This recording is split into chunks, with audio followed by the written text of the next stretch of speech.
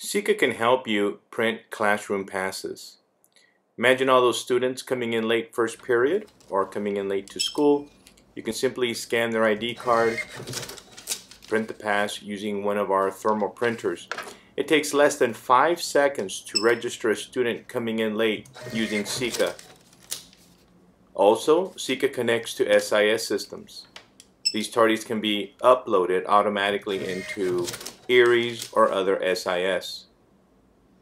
All tardies are registered in SSICA and a copy of all the scans of students coming in late is also provided to administrator or to uh, office staff like an attendance clerk so she can process these students.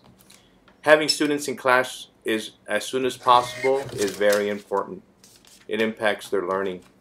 With SSICA you can scan an ID card, process the student, send them a, give them the pass, and they're off to class.